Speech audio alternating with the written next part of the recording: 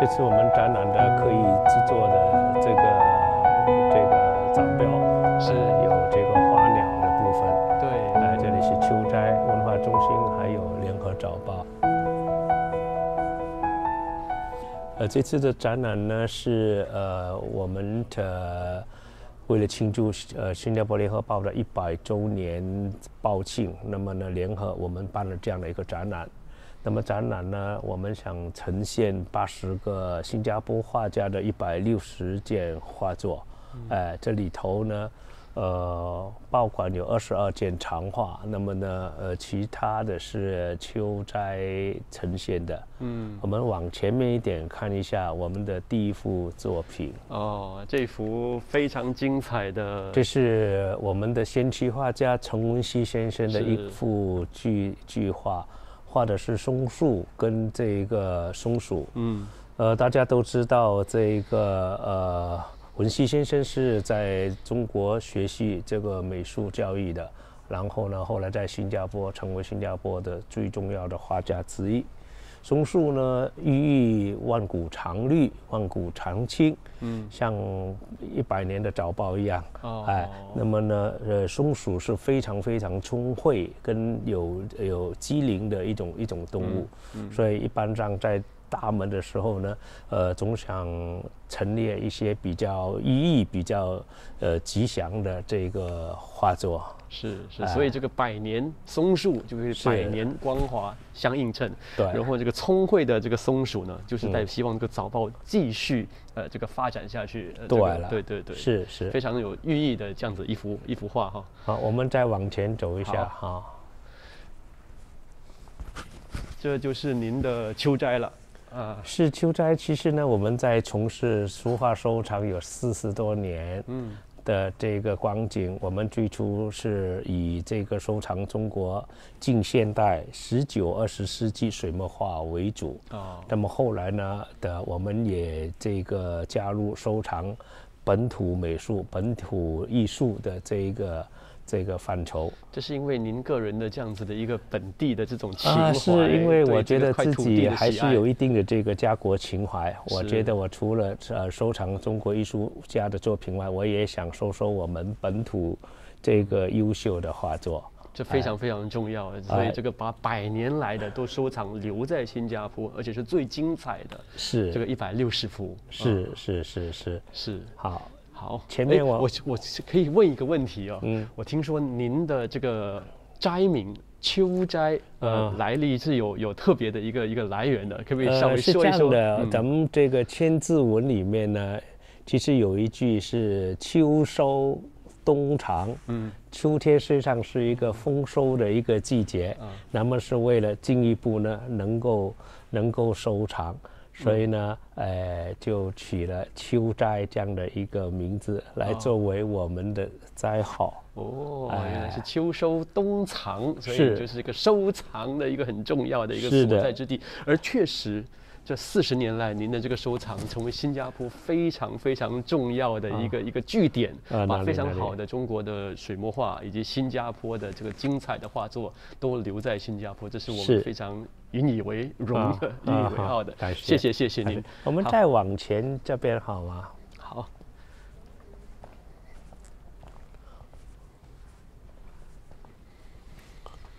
我们看一下这一个参展的书画家名单里面呢，我说过这次我们展览有八十位画家的一百六十幅作品。嗯，那么呢，这一个是涵盖了这一百年来的先驱画家，也就是第一代画家，嗯，呃，有二十位。那么第二代画家有四十位左右，嗯，啊、第三代画家是呃呃另外二十位，总数加起来是八十位。嗯，八十位画家里面呢，有七位是女性画家，哎。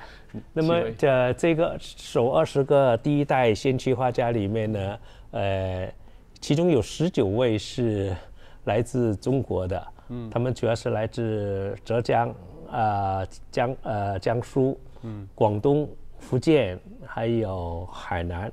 嗯，二代画家里面也有不少也是中国那边移民过来的，嗯，然后呢成为本土的画家。是。第三代画家呢，呃，不少是在这里成长的，嗯，这一个专业美术工作者，是土生土长了。第三代是是是是是非常洋洋洒洒。你看，就代表新加坡百年来的光华，都是这些非常杰出的这个艺术家所所留下来的精彩作品。是是，我们再往前看一下，好吗？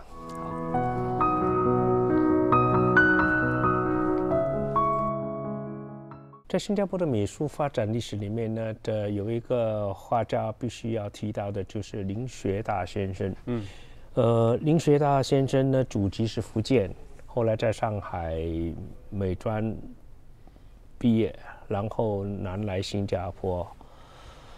他在新加坡呢，做了一件很重要、很重要的事，就是成立了新加坡南洋美专。嗯，那么他是。创始人兼第一任校长是，呃，学大先生呢的张罗了一些非常非常优秀的教师来执教，这里面呢有这个像这个陈文熙先生、钟世斌先生、陈忠瑞先生，呃，还有这个呃女女画家张丽英，张丽英，嗯，呃，这四位画家呢。呃，孕育了大批的这个优秀的学生。新加坡第二代的专业画家里面呢，绝大部分呢，都是这一些老师的学生。是，哎，这是林学大先生画新加坡河景的一张一张油画。所以，即便他从中国来，他已经非常具有在地的特色了，把在地的那种风光放进他的这个油画里面是的，是的。虽然学的是油画，但是呢，他们呢在呈现方面呢，我觉得呢是已经有明显的地方地方色彩。对，而且颜色非常非常鲜艳。是是是，非常生活化。的那个，是。我们再往前看一下呢。另外一个新加坡重要的老师跟重要的画家就是钟士斌先生。士斌先生跟学大先生一样的，都是来自中国福建。哎，那么后来他就在新加坡执教，然后呢，培养了大批学生。那么他本人是一个非常非常全面性的一个艺术家。呃，除了油画以外呢，水墨也画得非常非常好。还有多媒体的艺术都是呃呃与众不同的，对，哎，所谓的个性强啊，嗯，那么呢，这士兵这张画的是印度尼西亚的这个与农村生活，嗯，呃，虽然用的是西方的媒介，但是呢，呈现的东西呢，还是有非常独特的这个南洋韵味。嗯，南梁因为我看这幅是在一九八二，那就肯定是在他们一九五二年那次去了这个巴厘岛之后回来的之后所延续下来的这样子的南洋南洋画风的一种呈现呢。是，确实如此。哎，这个呃，士兵先生呢。呃，这创作力是非常非常的强的。是，虽然早年他都一直没有到西方发发展或者去过西方，他是很晚期才去西方的。嗯，但是早年已经是，呃，可以百花齐放这样的呢。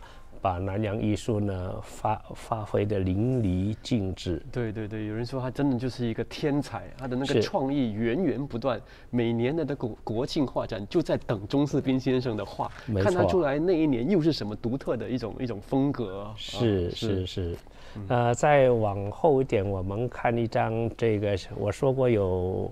新加坡的这个参展名单里面有好几位是女画家。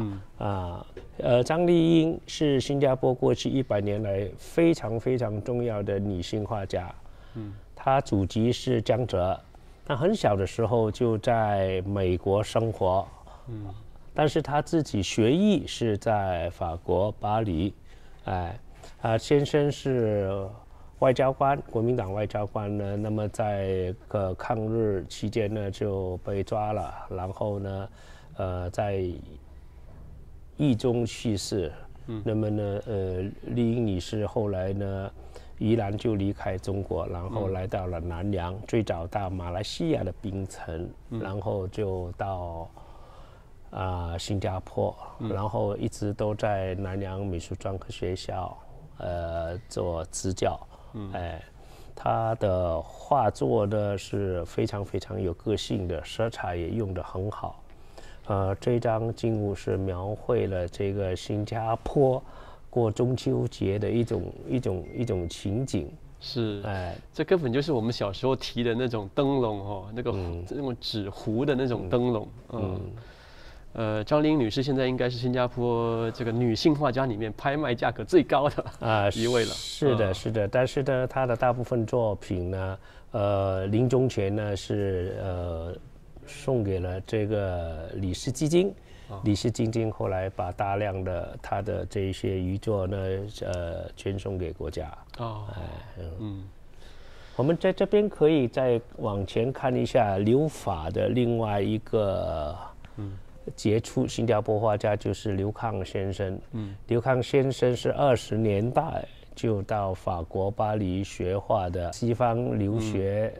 呃，学绘画的人真的是少之又少。是。那么刘康先生是其中其中一位，另外两位是林风眠先生，呃，还有刘海树先生。嗯。啊，从这个画作里面，我们已然也还是可以看到说呢，呃，刘康先生虽然是用了西方的这个素材，但是表达的东西呢。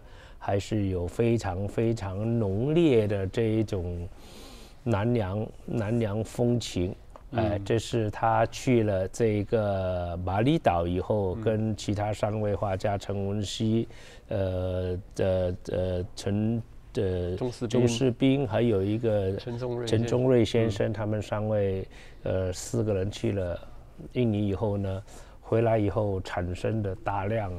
这个印尼风情的绘画，对，这幅是一九五七年，确实是他们回来五二年、五五年，好几年都都一直去巴厘岛，回来之后，这个南洋风就确立下来啊。是，嗯。我们眼前这幅画呢，是新加坡先驱画家李曼峰先生的风景油画。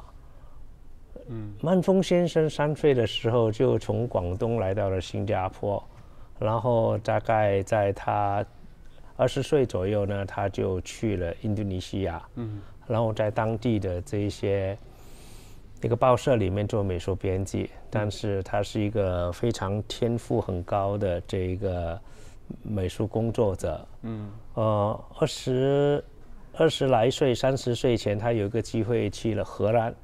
嗯学习美术，所以呢，他的这个呃绘画是从荷兰那里学来的啊。啊，这张画呢，是一九五七年呢，曼峰先生呢，在这个呃中爪哇的一个叫千，在中岛千佛塔，在金佛塔里面会绘画的一张一张一张作品。